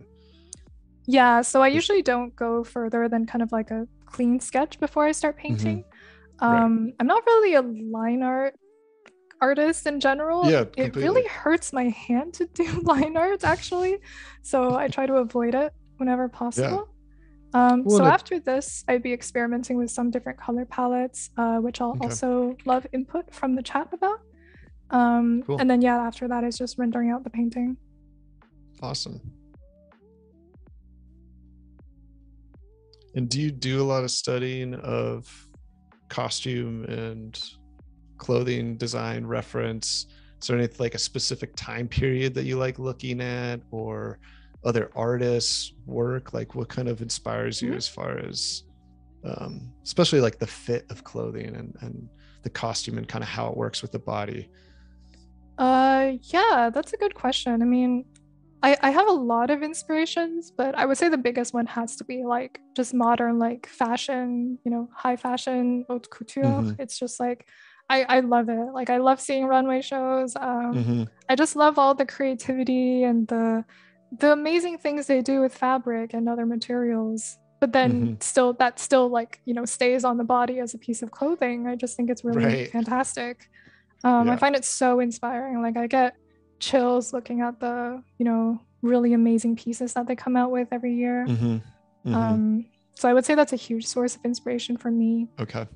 and when i when i do studies as well um i usually try to like look for just really cool flowing cloth is kind of my favorite thing to do um Mhm. but also other stuff like suits shirts just to understand the the basic push and pull of the fabric um so all of the you know fabric i'm doing in this sketch is really just kind of like you said muscle memory because i've just done it so much and i really Right. enjoy it Mm-hmm.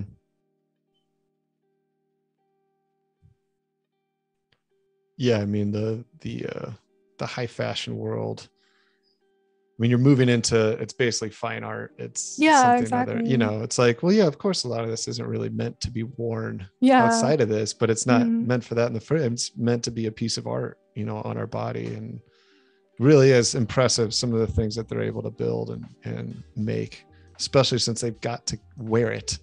At Right, some yeah. point, it's like, how? for sure.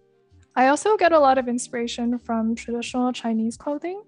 Um, Mm-hmm. So, actually, in recent years, there's kind of a movement that's like the Hanfu revival. It's uh, a lot of people buying these uh, traditional clothing that was popular in China, like maybe some, you know, thousand years ago, uh, just Mhm. like really more ancient traditional clothing. Uh, and I just think it's so cool. It's so beautiful. Um, there's all these brilliant colors, amazing embroidery, details, and everything. Um, and I, I would just, just really recommend checking it out for inspiration.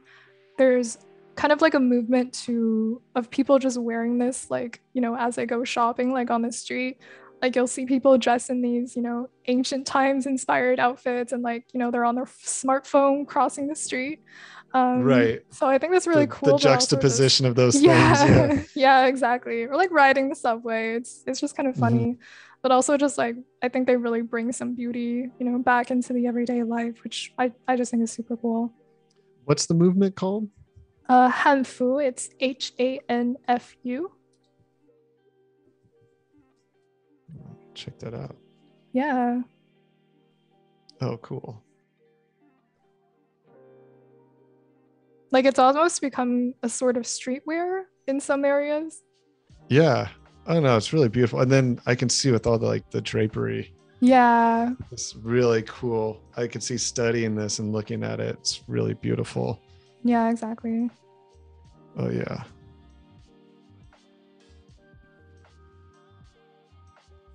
That's very cool.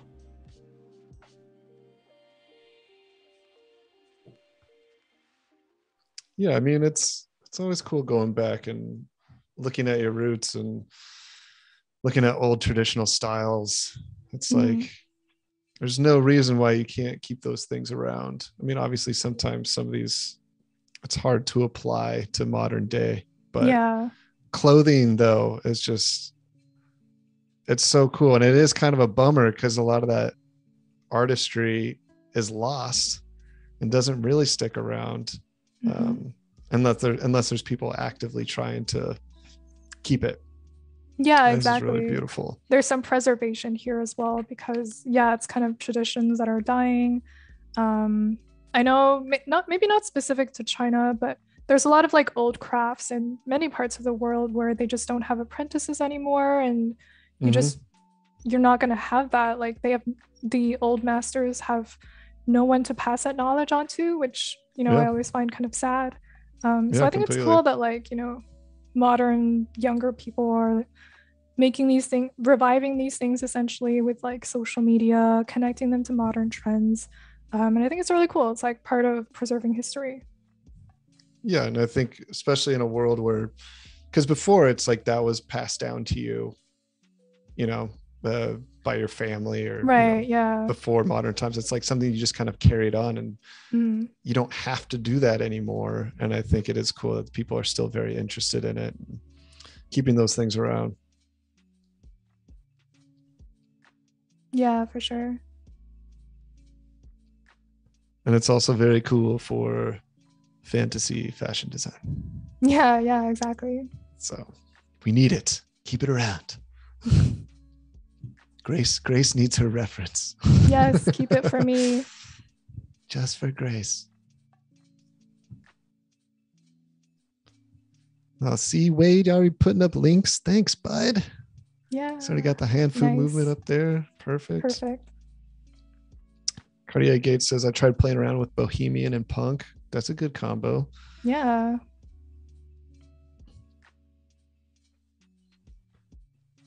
Yeah, it's fun to have. Oh, sorry. Go ahead. Oh, I was gonna say I don't do it so much in my fantasy work, but I'm also, you know, inspired by like early 2000s alternative fashion, like emo, Yeah. goth scene, Yeah. whatever. If I'm doing a modern Totally. design, like I just feel like there's a lot of cool stuff there that like yeah, okay, maybe it was just a phase when I was a teenager, but like I think there's some really cool stuff left that I still like to look back on very fondly. Oh, yeah. Completely.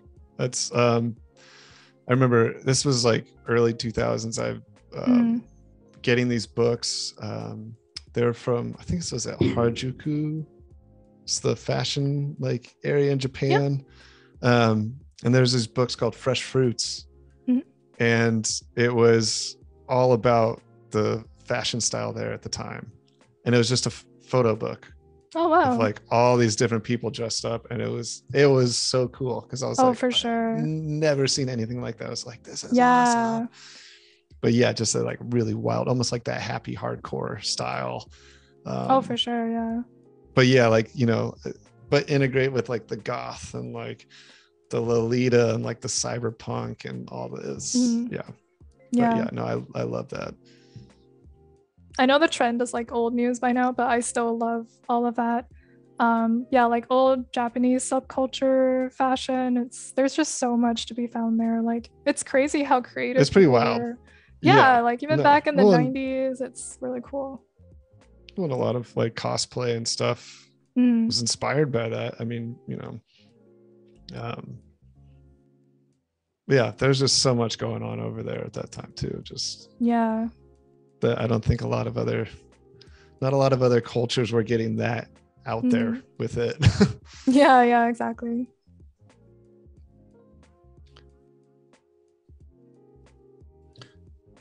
All right, this this part I loved as an illustrator. This is the part that mm-hmm. I love doing.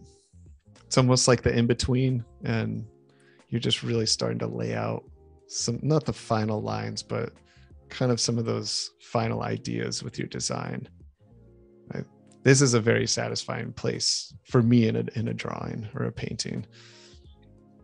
Uh, I can't relate. um, th- th- I think like, it's actually no. the exact opposite for me. Um, yeah. I love having you here to chat with while I do this because otherwise, like, I, th- I find this stage kind of boring. Like, yeah. because I already know what it's gonna be, but I can't mm-hmm. get there because I do have to do a clean version in order for, for it to look nice later. Um, right. So I kind of feel like this is just almost filler work for me. It's kind of chill, mm-hmm. but uh, I'd also get bored. Uh, so I, I love um, talking to people at this stage, or if I'm by myself, I usually just put on like a uh, Netflix in the background because, right. yeah, for me, this is kind of dull, but I'm glad that you like this part. So yeah, it's cool that your pain, experience is so different. yeah. Well, I, am much more of a um, like draftsman line work. Mm-hmm. Uh, I love inking. So yeah, uh, for me, it's like the more I get to work with line, the better. And I've okay. actually been in my work recently. I've been really trying to push away from doing line work just because it doesn't. Oh, that's you know, so funny. Because it's the exact just, opposite for me. Yeah, for a lot of stuff, it's like you can't have line work in there and still, you know, get these certain uh, vibe. You know, for, you can't have that really nice painterly feeling if you got a mm. bunch of dark lines in there. So yeah, for a lot of work, I've just started being like, okay, I got to push that back, or I can do that part, but that's just going to be the outline for my silhouette, or that's where mm. I'm going to put my flats in and I can make that really nice or try to find that satisfaction of getting those nice tight lines, but uh, not put that into the final piece. Um, right. But yeah, that, that is just me. It's like, I like that technical part of it. Mm-hmm. Just like really refining a design and, and the line work. Okay. Yeah, yeah especially if, you, if you're really you're so painterly it, that so, it's like yeah. yeah. it's kind of the opposite of what you want to be yeah, doing. Exactly. You're like, I want to get in there with the color and like really start to push and pull the shapes. Paint, and, but no, yeah. still doing the design. Yeah. And I'm assuming you're you're using a, a Cintiq or some type of tablet. Uh, it's a yeah, Intuos? it's a really old Intuos. Um, okay. It's lasted me about ten years. It's so funny because during my class last week, I was like, I've been using this tablet for 10 years. It's never failed me. And then it dies in the middle of class. I was like, oh my God. Um, I did have a backup tablet. So I found out it's actually just a USB connecting port that was having issues. So it's fine. Mm-hmm. It still works. Um, yeah. But it was just so ironic that, like, immediately after I was like, this tablet is great, it just, mm-hmm. no, it just gives up. Um, But it's okay. It's all fixed now. So you enjoy kind of having the looking at the screen here and then being able to Mhm. draw. Yeah, I know. I Yeah, that's how I I, started out. Mhm. Yeah, that's and it's funny because once I got used to it, I didn't even think. I was like, oh yeah, this is how you do it. And then Yeah, I'm just used when I got it a when I got a Cintiq, Mhm. then uh, for me it made a big change. I know a lot of people are like, "Yeah, I tried it and wasn't into it," but I it started to feel like I was making traditional art again for myself because it felt like I was drawing on a piece of paper or Right. just because I was directly on the screen. But Mhm. yeah, I know a lot of I know a lot of guys, a lot of people that they prefer the Intuos over the the Cintiq or drawing directly onto a screen. Yeah. Um, I do have an iPad with an Apple Pencil that I've Mhm. tried to use, but I don't know. There's just something about it that I can't quite get used to.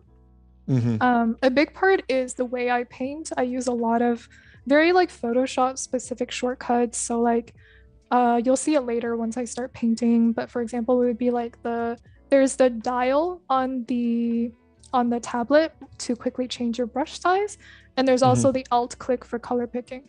Those 2 are so central to my process that like I literally can't paint on the iPad because of it, because it just doesn't quite have the same thing.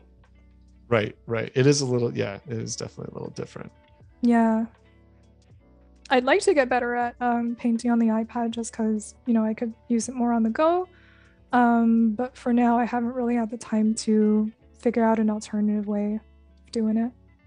Yeah, I've It would work. I've found that with the iPad, I I can do character design work on it and then and do a lot of my kind of like sketching and ideas. But if Mhm. if I'm doing a final piece for a client, I almost always transfer it over into Photoshop. Yeah. Just like and I think it mhm. is because it's like, well, I've only got so much time, and I'm like not Yeah. trying to really learn this whole new process. Like I know Exactly. how I'm set up in Photoshop. I know, you know, my hotkeys and like where everything is.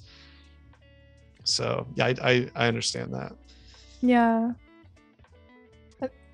Yeah, I, I wish I had more time to like experiment and really figure out how uh how to best draw on the iPad, but no, it's just yeah, like you said, it doesn't really work for client work when you're really just trying to get to the finished piece with as few missteps as possible hmm and to Yeah, not go over the time you have budgeted as well.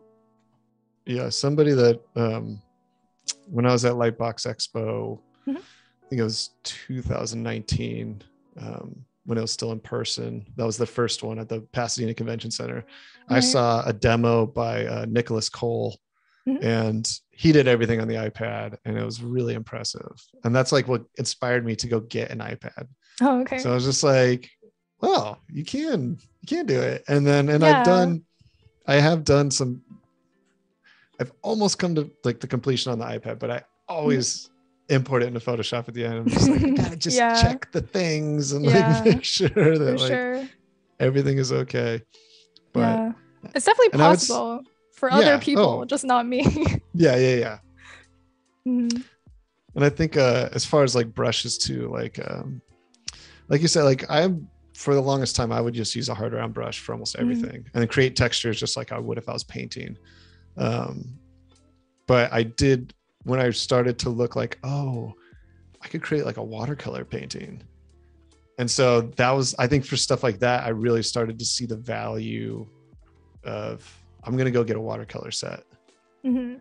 and then you know it's and they're so good now that it's like I felt like i was painting with watercolors because Mhm. of the way that the brushes interacted with each other it's like oh you can't paint over that i mean you could but it's not gonna look like watercolor. So it's like you it's almost like you're treating it like a watercolor painting digitally. Even though you could totally cheat and work around and everything like i still found myself being like i gotta make this mark perfect. Like i gotta Right, make sure yeah. that this color bleeds into here. And so Yeah, because it's digital. that's been kind of fun finding you know doing texture work that um, with something like watercolors that would be really Mhm. hard to do with just a regular brush it's like it, it getting the texture of the paper and, and everything so when you look at it you're like oh my gosh i don't know what that is is it digital or is it watercolor? So I, stuff like that mm. is the the few times where I'm really excited to use different brushes because otherwise yeah. I'm like, uh, I don't know how many textures I really want to bring into this thing that aren't just from the brush. Yeah, I definitely think it's really fun to experiment. Although for me, I think if I would rather than using watercolor brushes, usually when I try it out, it, it's nice and it usually works well. Um, like I've tried the live brushes in Adobe Fresco and they they look pretty mm. nice. But ultimately, I would rather just use my actual watercolor set. Like totally. Uh, yeah, like just do some traditional painting for once. Um, good good excuse to get off the computer. Yeah, exactly.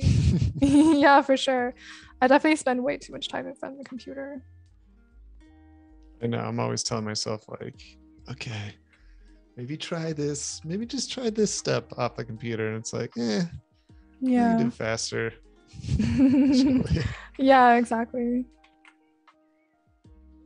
I do see a lot of um, a lot of comic book illustrators too. The people that I thought would never go digital.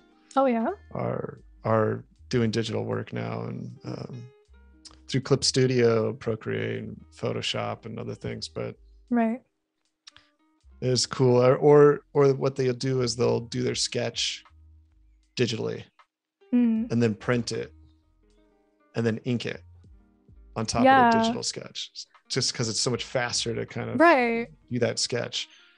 Yeah, um, digitally. I only learned recently that a lot of even oil painters nowadays do that. Like they'll just do a digital sketch or yeah. they have their reference like entirely comped in Photoshop and then they'll just transfer it onto the canvas. So they skip yeah. the meticulous drawing step, which yeah. is always what I hated about painting traditionally. So I'm like, oh, that's like that's a really neat trick and it still hasn't made me paint more traditionally, but when I do, I'm definitely going to use that.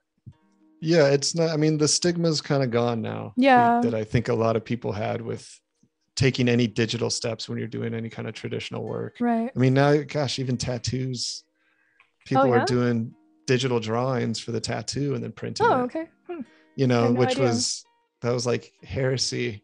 Oh yeah. like, to, in the tattoo community to like even think about doing that, but I think it's changed so much now, especially yeah. just people's time. It's like, yeah, well, what's what's what's yeah worth more to you you know like going through this mm-hmm. process mm-hmm. or your time to maybe make it better or do something else so right i i think that's where it is for a lot of people it's just like my time is valuable and mm-hmm. the faster i can get to the end point and still have the quality that i want i'm going to take that path right and the end result is what matters the most right like to enjoy yeah. the process yes but um to do a process for the sake of doing it, not so much. I feel.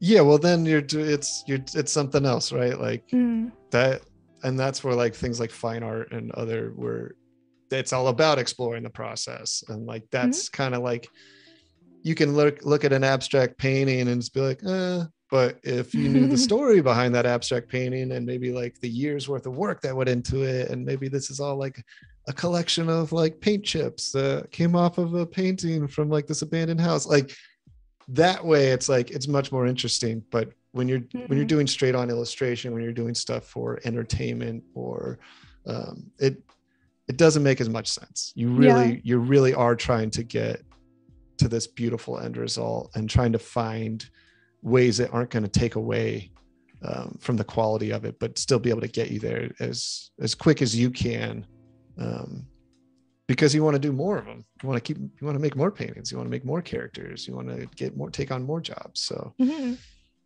yeah, for sure. Especially what you were saying about uh, like comic book illustrators going digital. Mm-hmm. I mean, considering like how much work they have to do and how little they get paid for it a lot of the time, yes. like I think that just makes sense. Like, yeah, how can you I'm... not take the easier way? I'm currently on page 160 of my own graphic novel. Oh wow! oh my gosh! Okay. taken a while, and yeah, for sure. So much hard work, and I, I can't I definitely. Imagine. It was a project I agreed to, and I had never done a comic book before, and mm-hmm. uh, the writer just kind of had faith, and so we've been doing it ever since. But I mean, it has opened my eyes. I'm like, this is easily one of the hardest jobs out there Oh, I I'm mean, sure. Like, yeah, Unreal. just to keep consistency and continuity through uh, a book that size and with the Mhm. characters and it's it's very difficult so whole i, I have an insane appreciation for for uh, comic book artists that I, I did have before but now i really understand it is it is a tough job yeah, for sure. and a tough crowd yeah. hard job and a, Yeah, very people critical updates fan so base. often, right? yeah, Yeah. it's like "What? i'm not a machine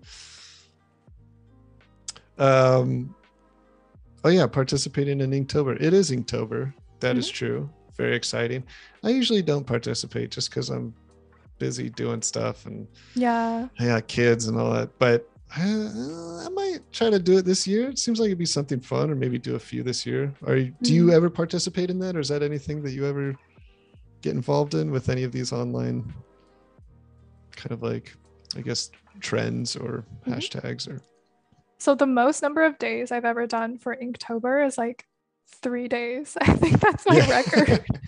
like i I did it can't do these. I would love did to. Um, the most I've done f- is for May Sketch a Day last year, where I actually Mhm. did like 30, I think there are 30 days in, May- days in May. So I did 30 pieces. you're like i'm not But- going anywhere yeah, no, that's true. But you could really see the quality like noticeably decline at like the half the 15 day mark. Like the first 10 were pretty good. There were some ups and downs. And then towards Yeah. the middle, it was clear that I had just like ran out of ideas and was like oh, grasping at straws for something. you're like what am i doing Um, yeah. No, that doesn't work too well for me due to my schedule, the commissions and everything. But I would like to do like a one drawing a week kind of challenge. I feel like that's Mhm. more my pace. Um one a day is just I don't I don't think I have that many good ideas. like like I said, I just ran out of ideas um during It's a month long challenge. Yeah, for sure it's um, definitely tough yeah i really admire the people that can do that um, or people who have an art style that's more compatible with that but for me it's just right not really uh, my thing yeah if you could just do this every day Mhm. and make sure it's inks no no color Yeah. like no i'm not gonna do that yeah no that's it seems like it's something that i would want to do but it's just Mhm. yeah i always find myself like uh, i've got all this other stuff to do i can't it's like yeah, i'll do that if i have the time but yeah it's tough it is awesome though it is awesome seeing all the work that comes through Mhm.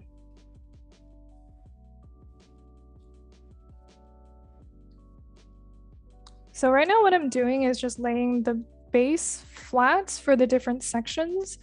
Um, I'm not going to really get into the color today. It's more just Mhm. to uh, have the like the base layer so I can lock transparency and then do right all of the right color Yeah. process on top. So right now this is just like a really random color that I want to um I want it to be bright enough so I can see the see it against the for the lines in the background right so I can right. tell that I have the correct like all of the cloth filled in for example. Uh, Mhm. and then the colors will come in later. Yeah this is you're just basically building the foundation so that you can paint on top of this Exactly.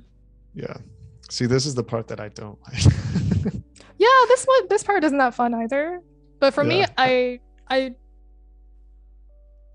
it's like I also don't like the I would say so this part and the previous just part the I was drawing. yeah everything like the I do dislike the hours, you're just like middle. Ugh. Yeah. no, the middle is really where I kind of struggle and lose track. Um, you heard it here fo- first folks yeah. uh grace Zhu does not like drawing or painting No. just touch ups at the end just the highlights that's it exactly. That's the that's you the need to find an assistant we need to get you an assistant to do all the yeah, I need someone to you. do all of the other work. who wants to do some free work yes, please. gotta put out that intern call like yeah, exactly. you'll gain some experience Mhm. Um just a heads up it's a we got about let's see probably got about another another eight minutes or so seven minutes before we start wrapping it up just saying Okay. Yeah, that's perfect. like fill in the base color for some of the other sections and I think we'll be Yeah. all good for today. yeah it's great i know i'm impressed at how far we've come this is beautiful Yeah. I'm I'm happy that I managed to like uh distribute the time pretty well because this is exactly uh what I was planning on. So I'm really glad that yeah, worked no, it's out. great. Yeah, I like the. I definitely like that headpiece. I think that was needed. Yeah, yeah, definitely needed something. When some with like the flow, it kind of connects. I, the way that the the reeds are coming off the uh, the shoulders there, I, Mhm. I just kind of like how it brings it. It brings it full circle around her face. hmm Yeah, I think so. Well, it seems like the chat loves it too. So Oh, great. everybody happy seems to to be enjoying that. this. some ghost painting? yeah, maybe, maybe there will be some ghosts tomorrow. We don't know. Maybe she's a ghost. Yeah. yes.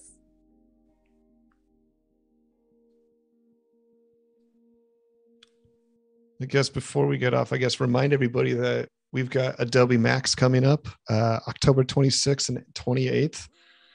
Completely virtual experience. Um, it's got a ton of amazing guest speakers, uh, tutorials, things for you guys to learn about all the cool new stuff coming out for the Creative Cloud. Um, you can register, no cost, it's free. max.adobe.com. So if you haven't checked that out, check it out. It's coming up. Should be really awesome.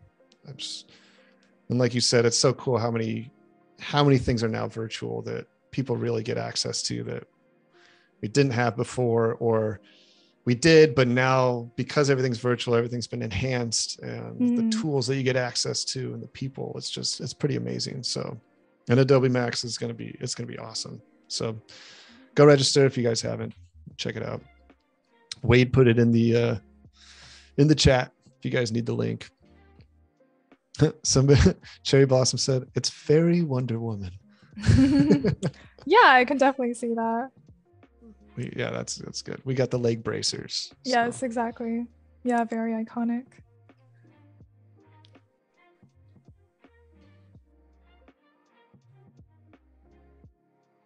So tomorrow, are we going to be looking at? Are we going to be doing um, or th- talking about the background, or what she's going to be kind of? Is this going to be more of like a like a paint like a painterly background, or is there going to be any kind of uh, objects or anything that might be integrated? Do you know yet? Or Um, I haven't really thought about it, so that's a really good question. I think I'm gonna Okay. think about it after the stream today. okay, cool. um, yeah, because this is more character design focused, I'm not sure if we'll have that much for the background, but I'll definitely right. think about having something. Uh, because just white, it would definitely feel too empty for like a finished finished illustration. Uh, so yeah, we'll see. And if you have cool. any suggestions, or if anyone in the chat has any suggestions, maybe I'll put in patch is up something. Yeah, something exactly, something spooky for Halloween. We'll see. Yeah, very cool. Mhm. And with with your colors, is that something that you kind of feel out as you move forward? Do you have do you have a direct reference for that that you like to use, or is it just you just kind of like okay, this is the vibe, and then you kind of just start playing with the color? Or, Uh, it really depends. Um, if I have like no ideas, like if I'm just drawing a blank, I will typically pull up a reference, and that's usually going to be an artwork from another artist, and just start like picking the colors, seeing what works, and then adding my own twist to it. Uh, but sometimes I will have something in mind already, in which case I'll just kind of go ahead and do it and then tweak it a bit until I find something that I like. cool, yeah, that makes sense. Mhm. yeah, I feel like color is such a intricate process. And especially I think that more than anything is everybody's very individual journey and kind of how they get to their color palettes and there's just so many options.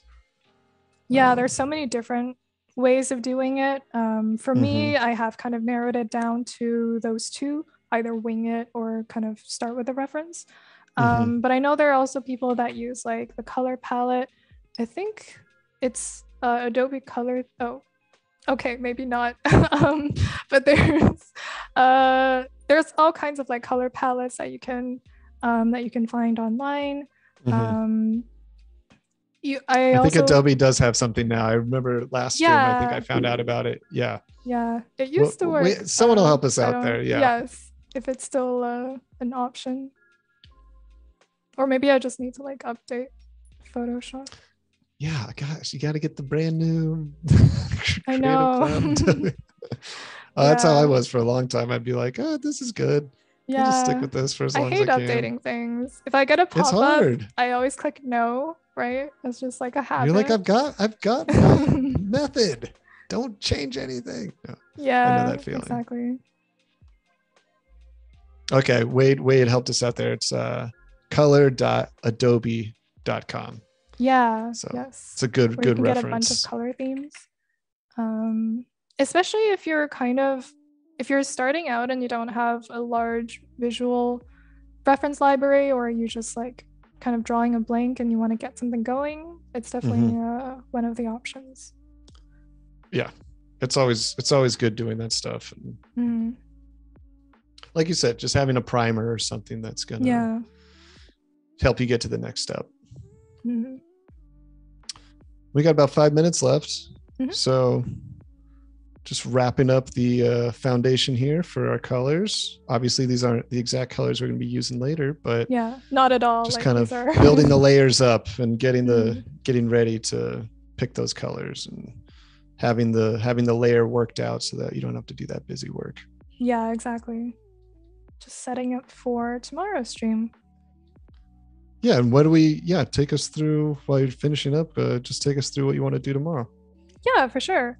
Um, so here you can kind of see the two main colors that I have. Um, Mhm. I think I'll probably keep like so the yellowish color will probably be some kind of metal, and then the purple will of course be some kind of cloth. Um, but Right. within that, you know, there's a ton of variations. I could even add I don't know some kind of tights underneath. Uh, I do want to. So that's kind of the first part, figuring out the color Mhm. palette. Um, maybe I think it would look good with another accent color. So that's something that I'm going to figure out tomorrow.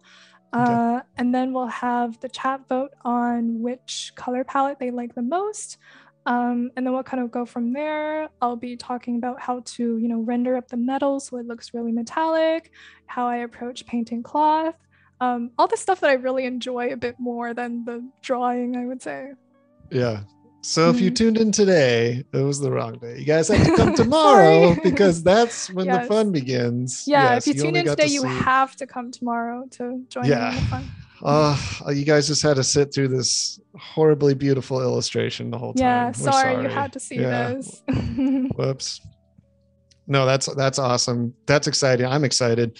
Being an illustrator myself, I I feel so lucky to sit in on these and get to see people break down their process because it helps me too. I'm just like, oh yeah, I didn't I never thought about that. I there's so many times where I'm like, oh my gosh, I forgot about that tool or I didn't even know about that tool. yeah, or like, wait, you can you can do that?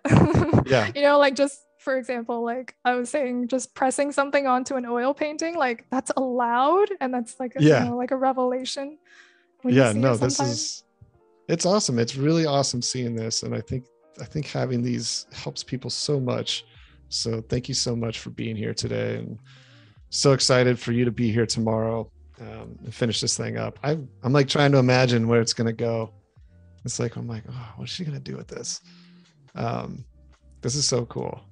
And you Yeah, did it so like Thanks. it's you you were able to put in a lot of detail without really noodling it too much or really putting in that much detail. It really it almost looks more detailed than it really is. Um, i think the placement the placement of your detail is what works so well with this one so Yeah. very excited for this um yeah and if you guys remember come over to behance tomorrow so don't go over to youtube come to b.net slash adobe live tomorrow straight away so you guys can hop in the Mhm. chat early on and ask all the important questions um Oops. Just gonna leave Oh, this up for a bit. Uh, it's just going to be a small thumbnail yeah, that's it's all gonna we're show going to it get in its entirety tiny for a ava- bit. tiny tiny avatar um, as we're wrapping up. Yeah, I'm pretty pleased with how this has gone so far. Um, I think I'll probably leave it here for today. There's, uh, it's a good place to stop. Um, and I'm sure I'll notice things, you know, when I come back to it, when I look at it again, uh, that I wish was different. So I'm gonna think on Mhm. that, and then think about the background a little bit as well. It'll probably just be like, I don't know, something decorative that kind of frames the the, the character a little more. uh, probably not like you know full on Greek pal- palace or stadium or Right. whatever. And are we going to Yeah. stay on this canvas size, or are you going to be? Uh, that's a good question. I'll probably make it twice as big. Okay. Okay. Yeah, Cool. to paint in all the details. That's But awesome. I don't know, maybe something planty just to frame the character. Kind of Planty is continue the nature goddess vibe. Yeah. If you know, have an we'll art see. director asking you what the vibe is, say planty. yes. Oh yes, planty. They'll understand immediately. Yeah. Like I'm going for a planty vibe. Mhm. Well, cool. Looks like everybody in the chat uh, enjoyed all of this. Um, I'm I'm hoping there's a little more. Uh, we're gonna get some spooky too Mhm. tomorrow with the I think with the colors. This is gonna be good. Maybe some little skulls peeking through the plants. Ooh, see now we're talking. Yeah. Some skulls, I like that. pumpkin in the background too. Yeah, there you go. Yeah, no, I could de- I could definitely fit that in, I think. Oh yeah, this is gonna be Yeah. awesome. So Yeah. yeah, please guys, join us tomorrow. We're so excited. Thank you for joining us today. We're with Grace Zhu. We're doing some fantasy character illustration. Uh, we're gonna be on tomorrow um, at 9:30 Pacific time. Um, it's gonna be part two. We're gonna be finishing up, finishing up the background, finishing up this painting, working on our colors. Uh, please come in. You can vote. You can choose where this is gonna go. So please be there with us. And also, uh, don't forget there's the Illustrator Daily Creative Challenge. Uh, those replays are going to happen with Julia Masalska immediately following this stream, and then logo design with Alex Lazaris. So please stick around, and we hope to see you guys tomorrow at 9:30 a.m. Pacific time. Thank you, Grace. Yeah, thank you. Thank you all so All right, much and see you tomorrow. All right, see you tomorrow. Bye.